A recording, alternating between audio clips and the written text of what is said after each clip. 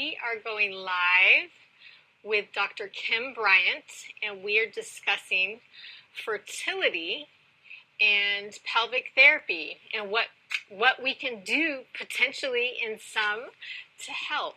So let's get connected. Again, we are we are going live with Dr. Kim Bryant, and we are discussing fertility and pelvic therapy. So give us just a minute to get connected. I'm sending her the invitation now.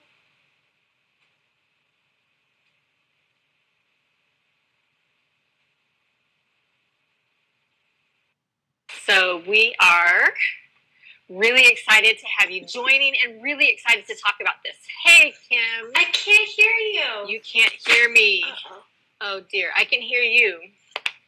Um, I can take out my speakers and see if that helps. Can you hear me now? Oh. Hello, can you hear me now? Yeah, it was my light. Okay, then I'm going to plug my speakers back in because the audio is a little bit better with speakers. Can you hear me now? Yes. Okay, perfect. Good. Okay. I'm Wonderful. trying to set up my light a little bit better. Let's see I think it looks good. You look good. okay? Mhm. I think your lighting actually looks better than mine right now. So Oh. kudos. Good deal. Well, thank you. I know we've been planning and talking about this for a while. Thank you so much for taking time out of your schedule. I know we've both been traveling a lot, and thankfully, my Yeah. plane wasn't delayed yesterday with the hurricane. So we made it and ready to rock and roll with this interview. I'm really, really excited about uh, having you share some of this information. So, first off, just tell us a little bit about yourself and uh, where you practice, and give a shout out for your clinic and what you're doing, and then we'll get into fertility and uh, pelvic therapy. Yeah. Um, so I've been um, practicing physical therapy for 10 years now, uh, with specializing in pelvic health um, over the last two and a half, three years. Um, I have a practice here in the Phoenix area. I have one office in Phoenix, Arizona, and then one office in Tempe. Oh, good. so you have two locations. That's awesome. Good. Yeah. Yep. Okay. So I've got two two young boys. They're five and seven, and so it keeps keeps me busy. yes, yes. Well, congratulations on having a private practice. If anybody is uh, out there listening in Phoenix or Tempe area, be sure to check you out. What is your uh, clinic's name? Is it Bryant Physical Therapy or Kim Bryant? It's- Yep, Kim Bryant Physical Therapy. Okay, good. All right, excellent. So now let's jump into fertility. So tell me a little bit about how you got interested in this area. Yeah, well, um, I started when I was treating patients for prolapse or any um, painful intercourse or incontinence. I always do a really uh, thorough job of abdominal wall work um, in addition to pelvic floor assessment. And I started having patients come back with, you know, my incontinence, my incontinence is getting better, but you know what, my my period isn't as painful, or I'm having more regular cycles. You know, what what might have been um, unrelenting pain for those first couple days where they were missing work or like on the couch. They they were saying, you know, what, I'm not having that now, and I'm was like, oh, interesting. yeah, what's the correlation? Yeah, yeah. So that got me um, going to the, you know, to the books, looking um, up research, um, and seeing what what sort of things are are out there to support um, manual therapy. I'm like, what? I'm doing something. Yeah. What is it? Something is helping, and what's the connection? Yeah. Good, good, good. Yeah. So then let's just jump into that. What role does pelvic therapy play in the treatment of infertility? Um, so the biggest thing is, I think that as physical therapists, I mean, we are always educating um, our patients, and so a big component of this is education. Um, so I um, I talk to my my patients about what is their menstrual cycle like, when did they start, were they do they have history of birth control, Um, do they have a regular cycle? Um, so a lot of them when they're coming in with fertility issues some of them already have an idea of what their cycle is like but that's a good starting point. Um, and then i also ask general questions major medical history um, but also what is um, bowel and bladder like? Because um, our bowel health has a really strong correlation with hormonal health. Um, and so that's really important uh, to, to know and mm-hmm. to ask about Good, good. So um, I, I want to read because we're going to talk a little bit about the research. That's my next question. But in this one of the research articles you sent, I want to read just a section of the conclusion. Okay, and for mm-hmm. anyone that's interested out there, I'm willing, and I know Dr. Kim is also willing to share these articles with you. So if you um, are trying to get pregnant and you're struggling, this may be a solution. It may not. This is not guaranteed. More research is needed, right? So this is no guarantee that uh, everyone is going to, you know, be able to conceive by by doing these techniques. But it's hope and it's a possibility. And for people that are trying and spending thousands and thousands of dollars, this might be a solution. So I'm going to read mm-hmm. just this one little section here. The data suggests that this innovative site specific protocol of manual soft tissue therapy facilitates fertility in women with a wide array of adhesion related infertility and biomechanical biomechanical reproductive organ dysfunction. So, what does that mean? right? So somebody out there that isn't a healthcare professional, not a provider, what what does pelvic therapy actually do to help with infertility? Yeah, so um, a lot of times, whether it, it, can be an ovulation issue with with um, that's impacting infertility, it can be a um, obstruction. Um, so if there has been history of endometriosis with um, surgical removal of the adhesions, um, polycystic ovarian syndrome or PCOS, even just having uh, painful periods, any sort of tension in and around the abdominal wall and pelvic cavity, your body, the fascia can start to tighten up and get restricted.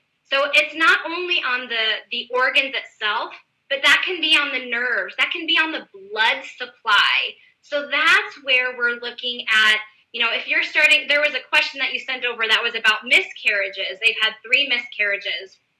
And my thing is during that first that first trimester, especially those early early weeks when you're changing and the placenta is developing, you need a lot of blood flow. And so if there's any sort of restriction on the blood flow, you might be able to get pregnant, but you might not be able to support that. So, um, doing soft tissue work that's not only going to um, release the tissues for blood flow, but then optimizing that alignment. If the sperm, so if you have your your uterus and the, the fallopian tubes, if that sperm has to go through all these little crooks and nan, you know, right. it's going to have a more challenging time. If we can make it more efficient, um, then that can that can help. So, for anyone that may not know what fascia is, I like to describe it as kind of being like a spider web in your body. So it's it's thin, right? And we have a good graphic um, on my page, but it's thin and it wraps around all the tissue and all the organs. And even a, a restriction in one area can cause dysfunction in another. So it's really, uh, um, I think, under assessed and and the importance of it can't be can't be emphasized enough. So let's talk mm-hmm. a little bit about the research. What research is there out there to support manual therapy intervention for infertility? Yeah, there. One of the articles, um, excuse me, I sent over. I think it was the Wurn article on treating female in, infertility. This one. Yeah. Yeah. I don't. That was one. Yeah, I I can't really. It's so small and it's sideways. Oh. So oh So, okay. Uh, so, so I I have it in my database and my email, but okay. and I can attach it as well to my story today. So anyone that's listening after we finish this interview is going to be on YouTube probably by next week. But in my story, I will uh, either take screenshots or screen recording and attach some of that research. Yeah. So what they did is they um, had participants that went through a a series of um, soft tissue techniques that were um, for viscera, um, vascular system. The one thing that I felt like was a little bit challenging with this article was that it was 20 hours within a five day span. And for most people, that's a lot. Yeah. Um, so I, um, I, I have not found someone that is wanting to do that, and I myself or even not, able to. Yeah. Yeah. Yeah. A provider or a patient on both sides. Yeah. So, um, but that was shown to help um, not only with if people had um, PCOS or history of, history of endometriosis, um, but all of them were beneficial. Um, this this series in in helping um, these women get pregnant. Yeah. and so I think that it's really exciting. just information, like you said earlier. There's there's room for a lot maybe more some, research. yeah, mm-hmm. um, and and more I don't know realistic timelines yeah. and treatment. Yeah. Um, but I mean, I mean, I'm having positive results. excuse me, even with just one hour or two hours a week. Good, good. So you are seeing some patients with infertility, and you're working on them and working on the adhesions, and you're seeing some improvements. Yes, absolutely. Good. And it takes time, you know. I yeah. and everyone says, "Well, how how long?" And and so I don't know. There's so many different factors involved, um, yeah. and this is just one piece. My goal is to really optimize that environment and provide them with education um, that can help um, just improve their their body's ability to to conceive. Yeah. So, in terms of uh, certain types of infertility that respond better than others, you would say some like you were referencing someone with endometriosis or uh, some other kinds of abdominal adhesions, potentially. Yeah, and, and fascial restrictions. Yeah, even those with um, GI issues, um, if they have you know history of Crohn's, IBS, all of those can create some some restrictions um, in and around the abdominal cavity and also the the pelvic cavity. One thing, um, what I one of the things that I usually do is a lot of diaphragm, rib, upper abdominal wall, posterior, good um, release, and I always go back to this diaphragm or di this diaphragm of my diagram, the diagram of my. Good. I love visual aids. Excellent. Yeah. And so if you rotate this, so now we're looking at the diaphragm Under. from underneath a little bit more, and you can see there's the inferior vena cava that's coming in, the descending aorta that has that is coming through this hole here, and even the esophagus is coming out to the side. So if you have an upper chest breather or someone that's really tight or has restrictions within that that upper abdominal cavity in any ways, that can really create blood flow issues. So you might have abdominal distension or a lot of bloating during your cycle, or you might have a lot of um, pain because maybe the blood can get in, but it can't come back out okay. through that the mm-hmm. vena cava. So, I mean, it can't. It, you have to look at this from that whole, whole, the whole body. Holistic. Yeah. Yes, you mm-hmm. really do. Mm-hmm. Yeah. So, in terms of side effects, what side effects have you seen or heard about potentially, if any? Yeah, I haven't seen of any, at least with my patients, any major negative side effects. Um, I do uh, limit if they've if they've had intercourse and they're in that 14 day window um, after ovulation. We're in that waiting period um, of you know are they pregnant? Are they not? So I tend, yeah, I tend to kind of limit um, the the front abdominal wall or any sort of uh, visceral work at that point. Um, but there's definitely there's there's plenty of restrictions to go around. Yeah, so, yes, yes. Yeah. So, so, in terms of an appointment, if someone was booking an appointment with you, they're going to come in, you're going to do a thorough assessment, and then if you're if you find some adhesions or restrictions that you're doing a lot of intense one-on-one hands-on manual therapy. And so yeah. manual therapy is basically where we put our hands on you and we are stretching and working that tissue trying to increase the movements um, anything else you want to say about what they could expect during a manual therapy session? Yeah um, I, I always think it's important to know that you don't necessarily you don't have to hurt to be helpful. Um, there are some times where it can, you know, if there's certain restrictions, it can get a little pinchy. But I I tend to say if it if someone's making a face of pain, yeah, yeah, then that back off a little bit. Yeah. Yeah. Mm-hmm. yeah.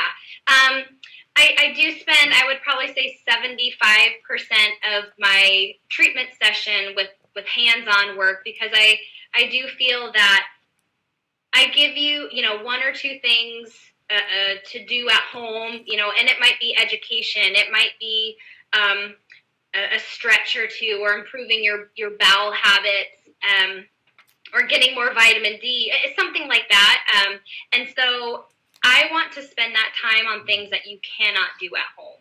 Good, good. So then that's a nice segue into my next question. Are there exercises or movements that you recommend to uh, your patients? Well, of course yeah. there are. what are they? yeah, um, and I would say, and this goes for all of my all of my patients practically regardless whether what they're coming in for is really having a good connection um, with their breath um, and pelvic floor and then making sure they have good alignment. It, it, what is that foundation piece? Because um, as as we take our breath in, that diaphragm kind of comes down into that pelvic floor, so you get a little bit of downward mobility.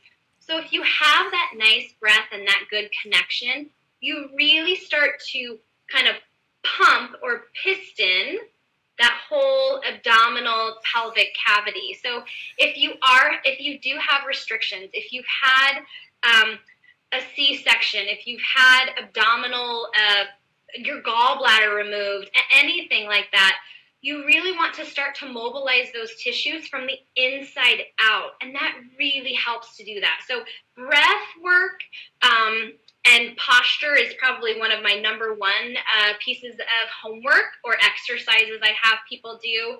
Um, there's another one that I, I call um, either mermaid legs or 90-90 with arm circles. I'm going to try and post, um, I'll post an example of that uh, Good. today. Good. And yeah, I'll another it. one. Mm-hmm.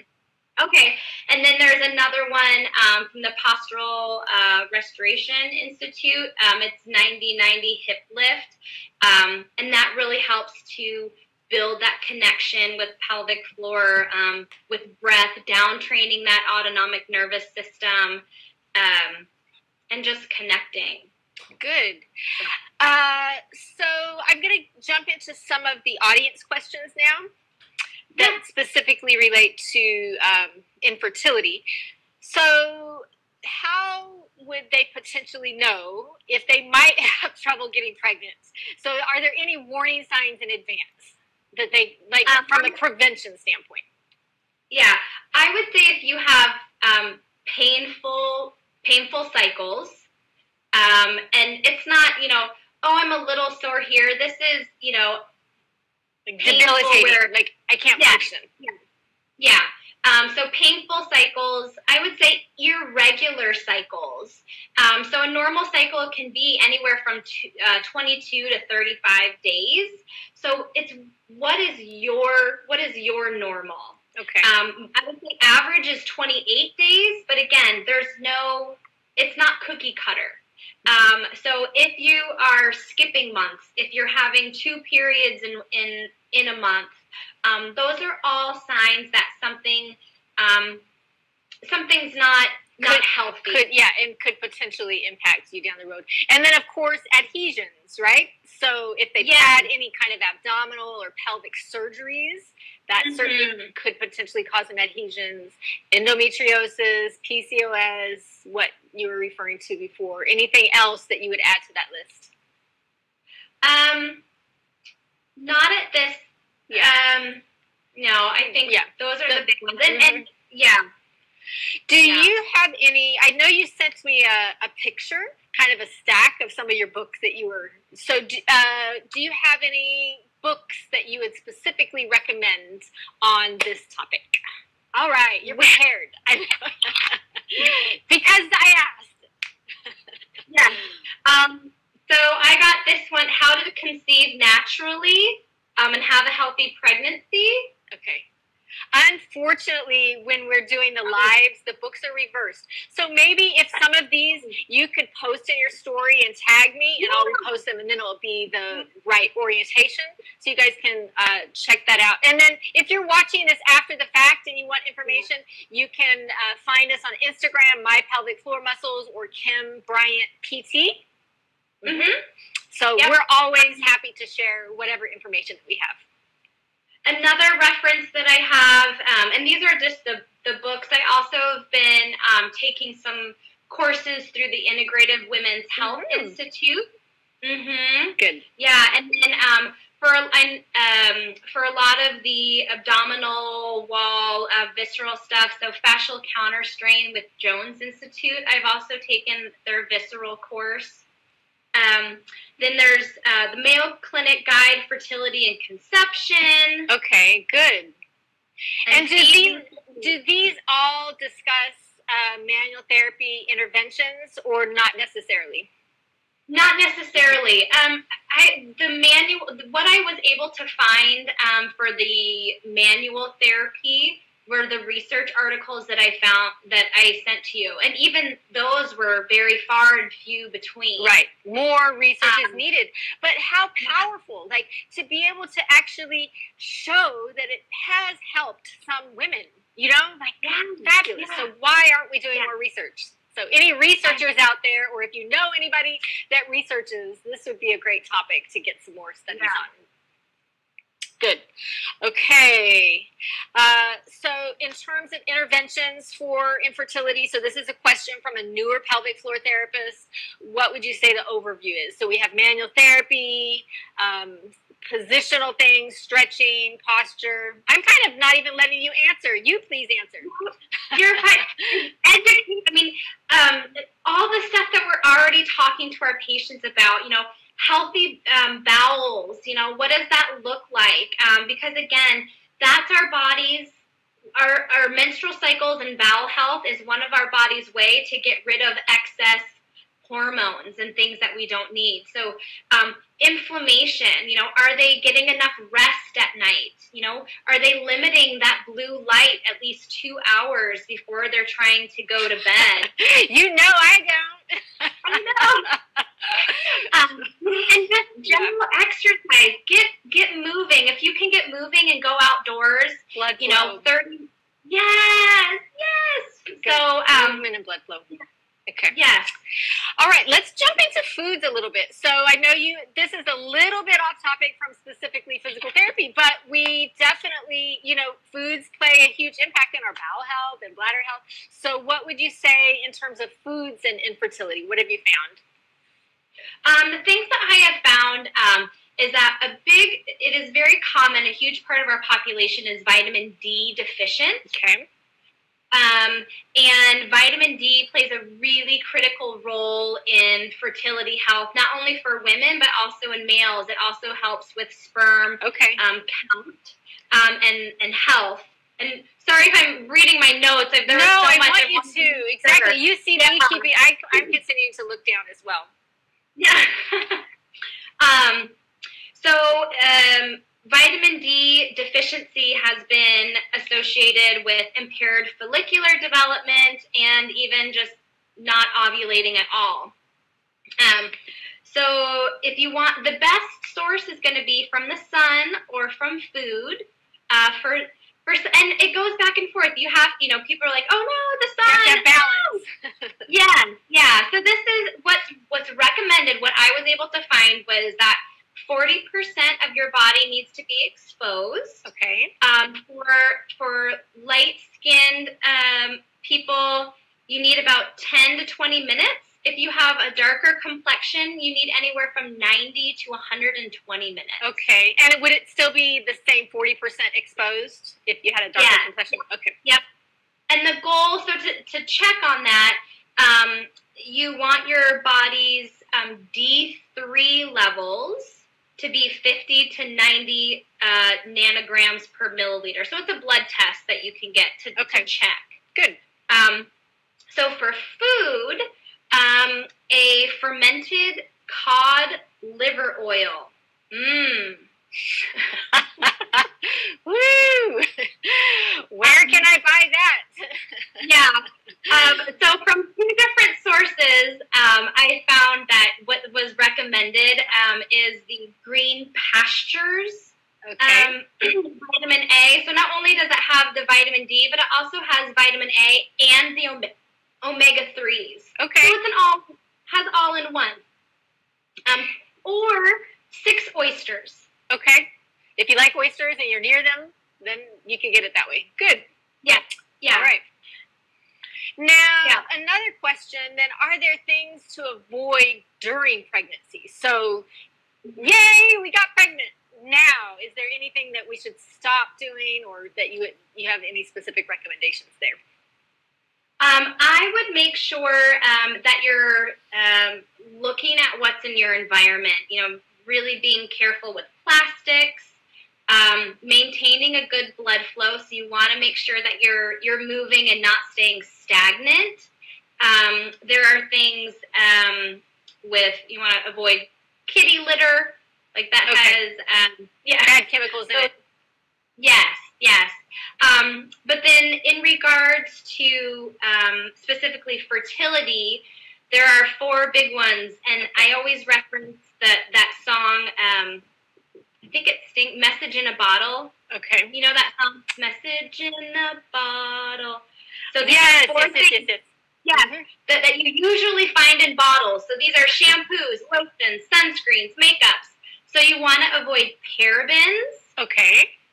okay? Um, SLS or sodium lauryl sulfates. Yep. Um, there's DEA or diethanolamine. Okay. I practiced these super hard. And propylene glycol. hey, you did a good job. Thanks. So yeah, go ahead. Oh. these these are four of the big components that mimic estrogen. They're called xenoestrogens. Okay. And so they can really disrupt your cycles and your normal hormonal regulation. So Interesting. you yeah, yeah. So if you're having abnormal cycles or painful cycles, look at some of the things in your environment um, and see, you know, think about if, if it's a lotion or a soap that you're putting all over your skin. I mean, your your skin is the one of the largest organs, Organ, so it's right. absorbing. Yeah. Um, so I'm not saying go out and throw away everything, but if you can start to swap, start to swap things. So I what things that I go for are everyone uh, like everyone products okay. or Burt's Bees, Uh-huh. Um, love Burt's Bees. Dr. Myers. Uh, those things you can easily find, um, but look for those four ingredients. It's really um, once I started looking at those in my house, I was really amazed. They're all over, I would imagine. Could you repeat them one more time? I know we're getting close to the end, but it, Yeah. just for anyone that may need to hear it again, one more time. Yep. So these are the four um, chemicals that can mimic estrogen and really wreak havoc on our hormonal um, status. Is parabens, uh, sodium lauryl sulfates or SLS, DEA, which is diethanol. Uh oh, diethanolamine. Yes, Okay. diethanolamine. Okay. And then propylene glycol. Okay, good. Very, very helpful information. So, if somebody wanted a source to be able to read more, would they just Google um, What would how where should they go? Yeah, I feel because like we want reputable information. Yeah, and it's really hard. You know, even the sources that I was able to find, there were some variances in in what what was recommended. So I, I tried to find what was consistent in Okay. these references, um, and that's what I reported. Okay. Um, Good information. So, it, you know, I would imagine that more research is needed there as well. So, Mhm. bottom line with all of this is there's some potential um, for if, if you have endometriosis, if you've had abdominal surgeries, if you have potentially any fascial um, adhesions or, or significant restrictions in your pelvis or abdominal cavity, that may be impacting your fertility. And pelvic therapy with emphasis on hands on manual therapy to help release those adhesions and get everything moving like it should may mm-hmm. help. And we have some Yeah. some nice research to support that. So again, if you want the articles, let us know. I'm going to post in my story, but that's only up for 24 hours. So if you're watching this on YouTube later, you won't have those articles.